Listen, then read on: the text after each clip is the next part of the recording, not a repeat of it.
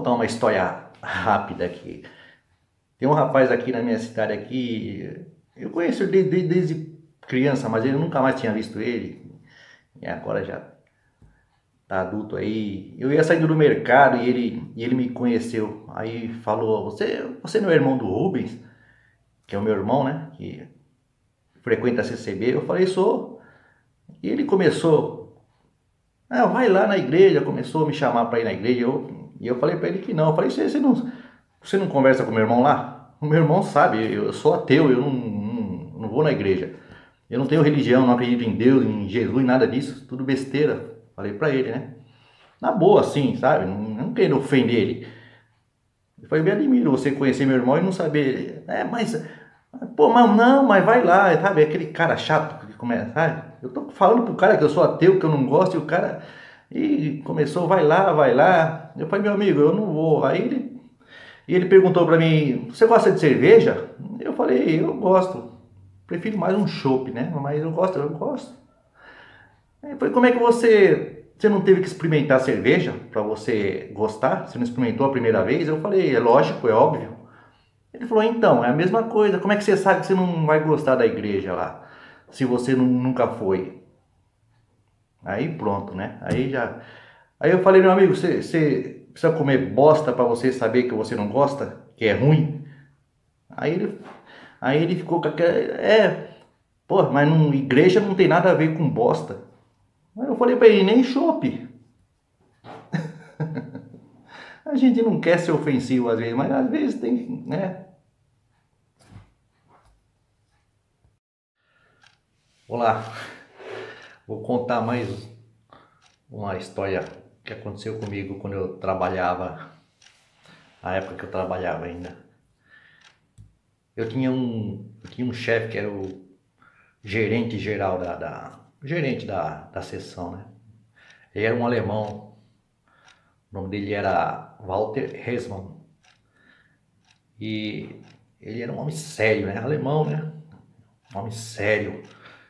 Dificilmente você via ele rindo. eu acho que a única pessoa que fez ele rir foi eu lá dentro. Ele era assim, né? Chegava na sessão, cumprimentava, seco, todo mundo perguntava o que tinha que perguntar e ia embora.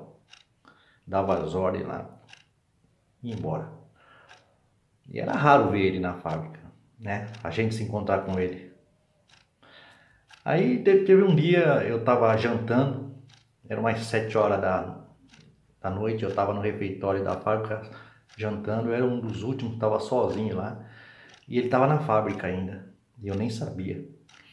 Aí ele entrou, ele entrou, me deu a mão, cumprimentou como ele sempre fazia, né? E aí ele sentou do meu lado, puxou uma cadeira e sentou, pegou lá um petisco lá. Eu, eu estranhei, né? Aí ele me fez umas perguntas sobre a fábrica, né? E eu fui respondendo o que ele estava perguntando. Fui respondendo o que eu sabia, tudo. E, e ele começou a conversar comigo e de repente assim, ele, a gente já não estava mais falando mais de fábrica, estava falando de outros assuntos.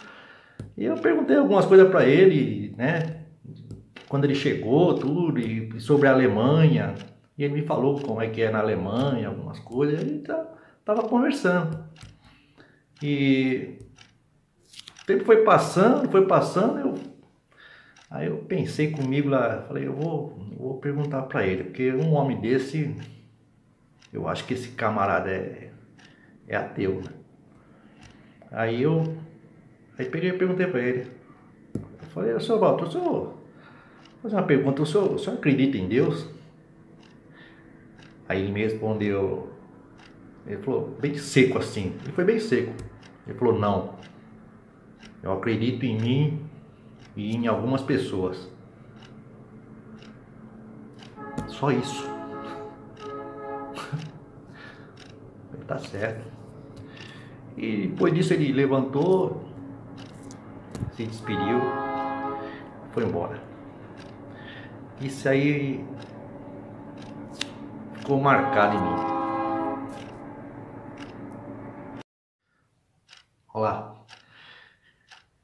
Eu queria dizer uma coisa que pode reparar, quanto, quanto mais religiosa uma pessoa é, consequentemente ela é mais supersticiosa e muito mais medrosa. Todo religioso é medroso, pode, a maioria, pelo menos, pode reparar. Eles veem sobrenatural em tudo, tem medo de tudo, até de uma sombra. Vou contar uma história rápida aqui, porque senão o vídeo fica comprido e o celular não manda. Eu era pequeno, estava eu, minha irmã, meu pai, minha mãe jantando e meu irmão. A caçula que hoje é, não existia ainda. E estava um, um tempo frio, chuvoso, garoa e ventania. E a gente estava jantando tá? e de repente a minha irmã deu um grito, a, a, minha irmã mais nova, na época, e ela deu um grito e mais velha, aliás. Ela deu um grito assim porque ela viu um negócio no vitrô, um negócio que chegava assim, fazia uma sombra no vitrô, parecia uma pessoa, uma, mão com as mãos assim, uma cabeça, e voltava, e vinha e voltava. E, e ela, ela deu um grito, começou a chorar e e eu também, quando eu vi, né, minha mãe viu também, eu fiquei assustado. Parecia realmente que, que era uma imagem assim de uma coisa que vinha uma pessoa e voltava. E meu pai, como era um homem bruto, ignorante, né? Ele saiu lá fora, saiu lá fora e foi ver. E aí ele voltou e falou: Ah, tem som tudo cagão, não é nada, é o pé de goiaba. É o galho da goiabeira que, que vem aqui no vitrô quando o vento tá mais forte. E era isso. o galho da goiabeira, quando dava uma rajada mais forte, ele tinha um galho que chegava no vitrô e fazia uma espécie de um. parecia mesmo uma pressão numa pessoa. Estou falando isso porque, é, se é um, um religioso, principalmente um crente evangélico, né, ele já corre para a igreja e já vai lá dar o testemunho e já começa a colocar demônio no meio, Deus e falar um monte de bobageira. E é isso. Que sempre a gente tem que avaliar as coisas antes. Porque tudo tem uma. Tudo tem uma resposta. Se você procurar, tem.